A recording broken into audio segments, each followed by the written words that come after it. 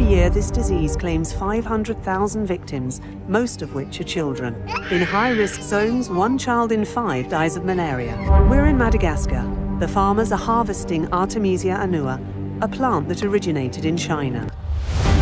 This plant is illegal in France. While the plant still faces scathing criticism in Europe, the southern countries have not hesitated to give it the go-ahead. Uh, we'll have to have drugs and vaccines and other things to do these eradication. Losing artemisinin would be a catastrophe for the WHO. It's a huge business. I'd like to see them with a child dying in front of them.